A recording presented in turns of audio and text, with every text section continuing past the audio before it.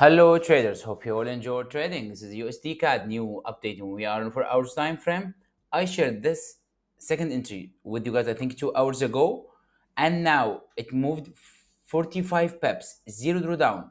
It was a very simple and very easy uh, entry. Hope you all uh, entered this trade and made a good profits. I think the price will re- uh, uh, uh, retouch the entry point many times. Maybe if we have also a daily closure above, the price will go back uh, uh, many times to retest the entry point. Anyway, anyone entered this uh, second entry with me showed pocket profits and secure your trade. First entry almost we have uh, 85 peps, zero drawdown. Second entry 45 peps. So congratulations to who benefited from this amazing two entries and made a good profits.